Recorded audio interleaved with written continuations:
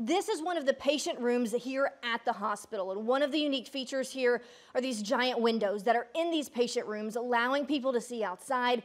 And this area will also become a green space. It's great. You know, it's very important, very important because we need that. We really need it. Stephanie Roach is one of many looking forward to the opening of Norton's West Louisville Hospital.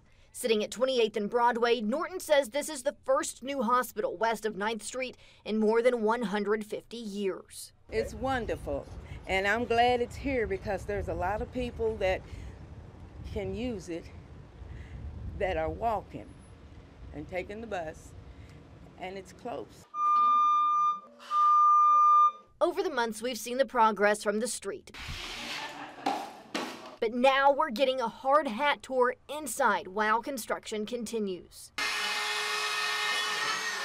This, in so many ways, is the hospital that the community told us how to build. That includes a community space for health and wellness education and a food pantry.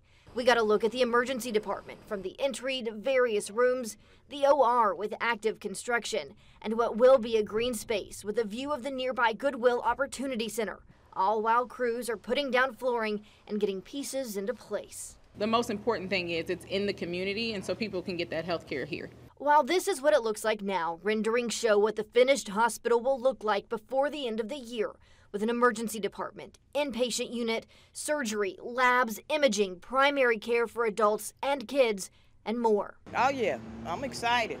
I'm excited. The hospital is expected to open this November. Reporting with photojournalist Dave White, Darby Bean, WDRB News.